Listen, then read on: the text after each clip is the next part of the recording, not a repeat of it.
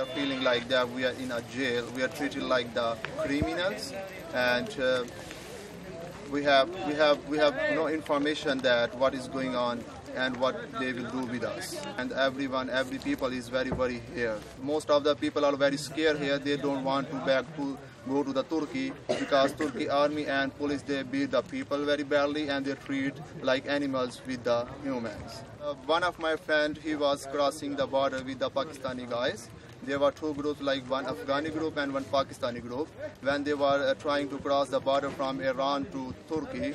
So the T- Turkey army arrested all, all those people and uh, they tell they told them uh, you must both group have, have, have to fight each other. Which group would want uh, th- th- that can be cross the border? So they, they, they fight each other. There were blood but after the fight the army was laughing enjoying their fight and after that they said that no no one would allow to cross the border. The people who arrived until 19 they told us they, they would get the paper in 15 days.